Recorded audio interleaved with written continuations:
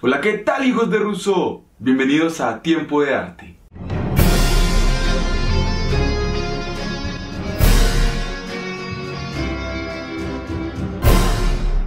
¿Qué tienen en común un pescador, una granjera, una empleada doméstica y un recaudador de impuestos con el arte? No lo sé, tú dime. El siglo XX sufrió cambios revolucionarios en el mundo del arte y con esto llegó una revalorización de géneros antes despreciados como la pintura knife. En lugar de ver como un defecto la falta de formación de los pintores knife, se consideró una virtud que confería a sus obras una belleza infantil, ingenuidad, frescura y espontaneidad que caía muy bien en el mundo del arte. Nadie se ha preocupado tanto por mí.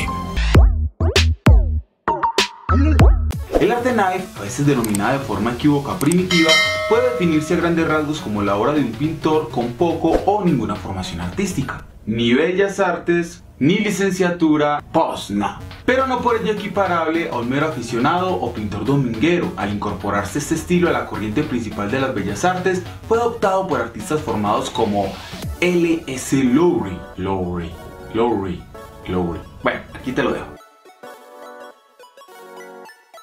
¿Qué cabría denominar con mayor propiedad pseudo knife?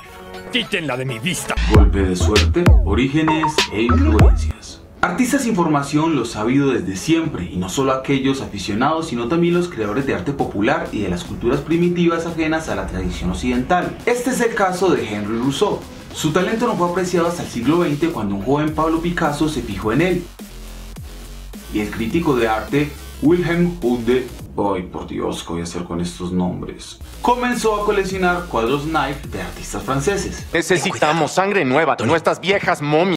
Este tipo de arte se puso de moda tanto en Gran Bretaña como en Estados Unidos en la década de 1930 a raíz del descubrimiento de Alfred Weiss y Grandman Mouse.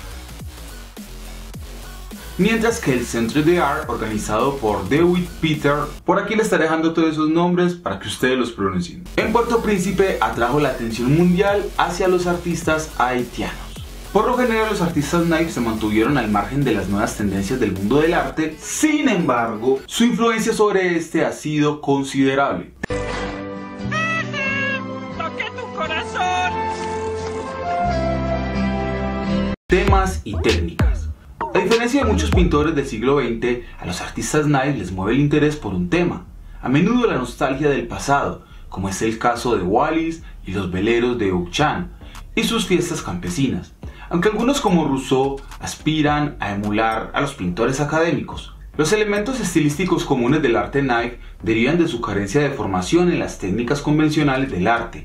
La composición, por ejemplo, es simple, instintiva y a veces llegan hasta el punto de carecer de estructura. Eso también se puede notar en la falta de perspectiva científica. Las pinturas knife están a menudo llenas de detalles, sobre todo de figuras de dibujos desmañados, en contraste con zonas de color plano.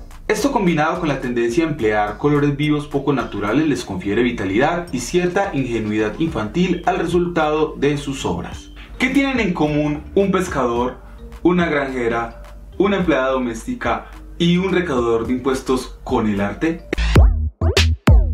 Es curioso que estos artistas en un inicio se dedicaran a labores y profesiones alejadas al mundillo del arte y que tomaran la decisión de dedicarse a algo que aman a una edad tardía, a mí personalmente me parece magnífico. Nunca es tarde para dedicarte a lo que amas.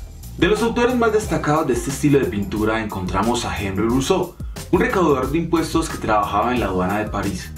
Pintó a menudo escenas fantásticas de gran tamaño y rico colorido ambientadas en lugares exóticos y selváticos, lugares que nunca visitó. Este artista se cree que fue ridiculizado en vida, por nada más ni nada menos que el mismísimo Picasso. Aunque póstumamente cumplió una de sus ambiciones, de exponer en el Louvre y hoy en día se venden sus obras por millones de dólares.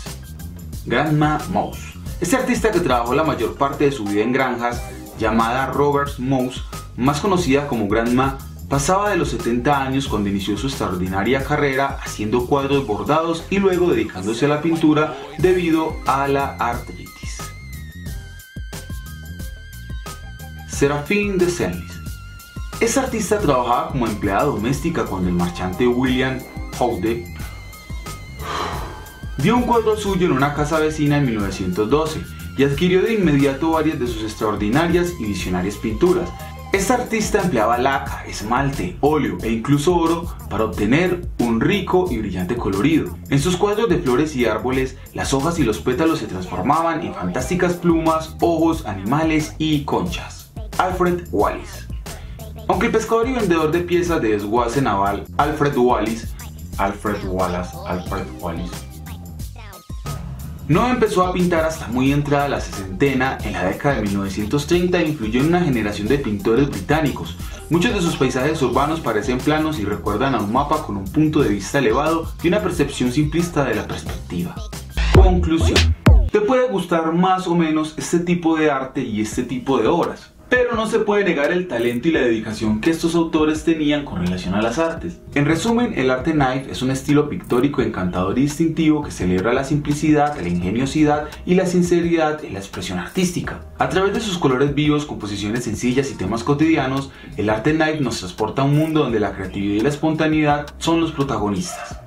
A pesar de su simplicidad aparente, el arte knife a menudo transmite profundas emociones y conexiones con la vida cotidiana. Este estilo artístico nos recuerda la belleza de la inocencia en la creación y nos invita a apreciar el encanto de la autenticidad en un mundo y nos deja un mensaje claro. Nunca es tarde para dedicarte a hacer lo que amas. Y bueno, este es el video de hoy, espero que les haya gustado. Si es así, no dudes en dejarte un like. Nos vemos en el próximo video. Un abrazo y muy buena energía. Chao, chao.